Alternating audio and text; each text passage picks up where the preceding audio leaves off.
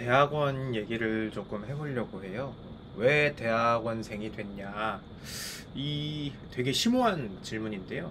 이 질문을 받고 되게 고민을 많이 했거든요.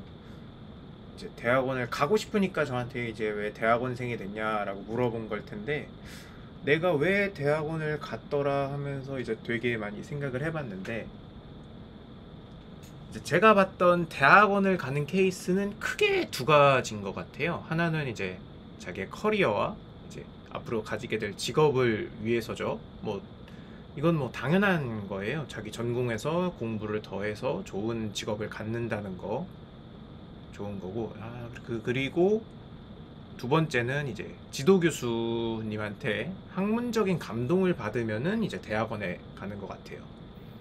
저는 이제 사학과니까 저를 예로 들면은 교수님의 이제 시대나 시대사나 역사 철학이 자기랑 맞으면은 대학원 가서 그분 밑에서 공부를 더 하는 거야.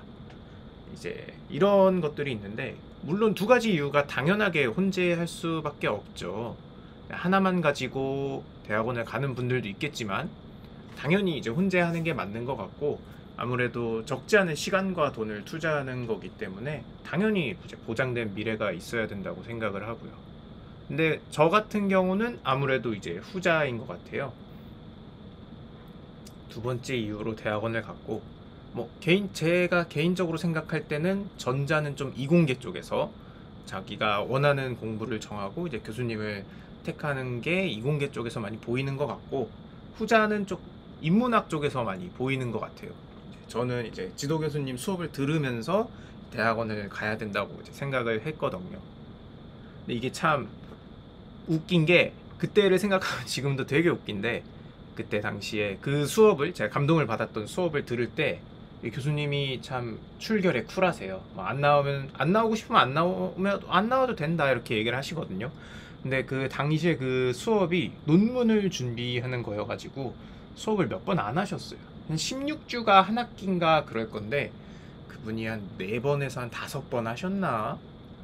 근데 이 네 번 한 수업에서 이제 출결이 교수님이 이제 프리하게 안 나올 사람 안 나와도 된다 이렇게 해버리니까 애들이 진짜 안 나오는 거예요. 20명짜리 수업인가 그랬는데 한 4명 나와서 수업 들었나 봐요. 그 다른 학년 2명하고 저랑 제 동기랑 나와가지고 이제 4학년 때 수업을 듣고 그랬는데 이제 교수님께서 이제 저는 이제 사학과니까 근현대사 맨 처음 이제 동학농민운동에서부터 이제 쭉 얘기해 주시고 독립군 얘기, 광복군 얘기 그리고 1945년 광복 지나서 민주화 운동 얘기까지 쫙 해주시는 거예요.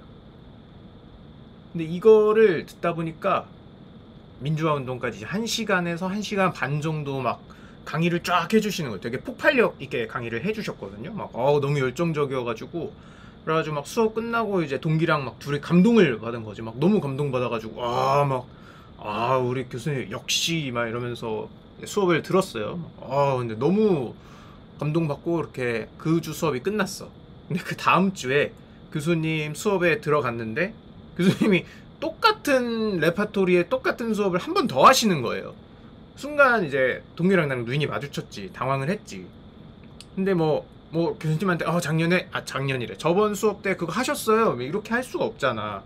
그래서 그냥 뭐 눈만 한번 마주치고 이제 또 처음 듣는 것처럼 앉아가지고 또 수업을 들었죠. 뭐 들었는데, 아, 근데 들었는데 아는 거야. 분명 아는 건데 교수님이 너무 폭발력 있게 막 강의하시니까 어 똑같은 감동을 또 받은 거야. 막, 아 동기랑 또 앉아가지고 수업 끝나고 막 아 역시 우리 교수님 오 역시 홍짱이다 막 이러면서 아 대단하시다 이러면서 나왔거든요. 이랬는데 그 수업이 끝나고 그 다음 주 수업을 들어갔어요. 근데 그 다음 주 수업을 들어갔는데 세 번째잖아. 똑같은 걸 또 하는 거야. 그 세 번째 수업에서는 그 나오는 네 명이 동시에 눈빛이 따다다다닥 맞는 거야.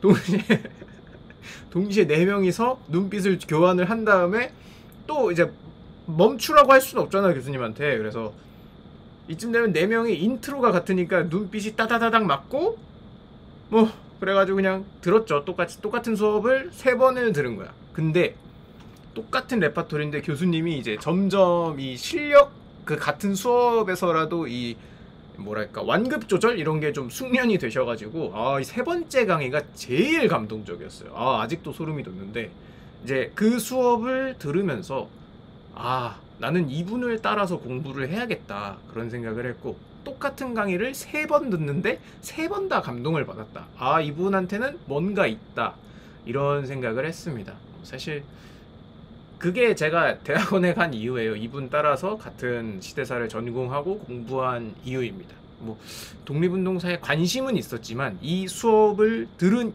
전과 이후로 제가 크게 변한 것 같아요. 뭐 저는 그런 이유로 대학원을 갔고요.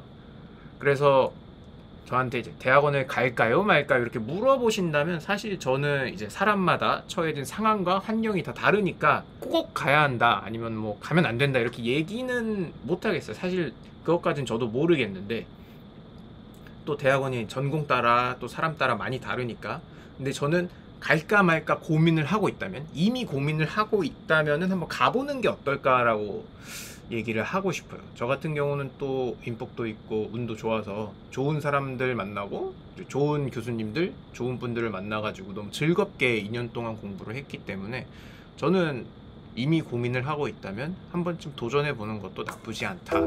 이렇게 얘기를 해보고 싶습니다.